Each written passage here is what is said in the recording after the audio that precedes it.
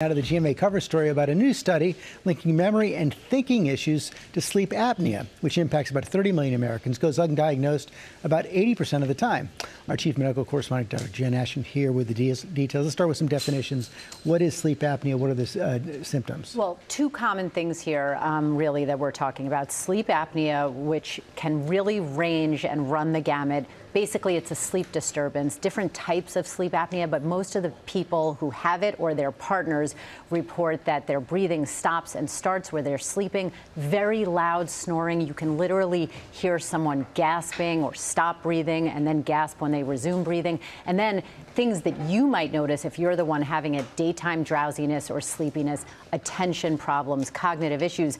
That's the other thing that's really common that's brought about um, in this headline, which is cognitive issues, memory issues, and researchers trying to see if there's a connection. What connections does the study reveal? Well, so this was an abstract published at the biggest neurology conference uh, that's going on right now, and researchers at Boston Medical Center found that when they surveyed people who report these kind of sleep issues, that they had an 88% more likely chance of also reporting problems with their memory, cognitive issues. Again, we should mention this is based on association and observation, not yet cause and effect. But when you talk about sleep apnea, when you stop breathing and your oxygen saturation goes down, your CO2 goes up, you can almost think of that as having tiny mini strokes, mini mm. heart attacks multiple times a night ongoing, it's a major health issue. So it's very serious, but every time I see that CPAP machine, I think, how can people sleep with that? Well, right. So first of all, if you think that you or someone you're living with has sleep apnea, you should talk, try to get tested.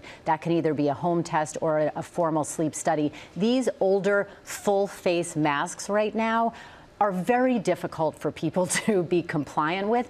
There are now smaller issue, um, devices that go right above the upper lip that look like that. They're soft, they're flexible, they are much less cumbersome, much more likely to be compliant with. George, I can tell you right now that for people who have sleep apnea and are treated with it, they will notice a major improvement. It's just a matter of time. Everything improves from their weight, usually, to the way that they're able to function during the day. They'll notice it, the people around them notice it. It's very, very important that you can do this to improve your health and be preventative. Good advice there. Thanks very much.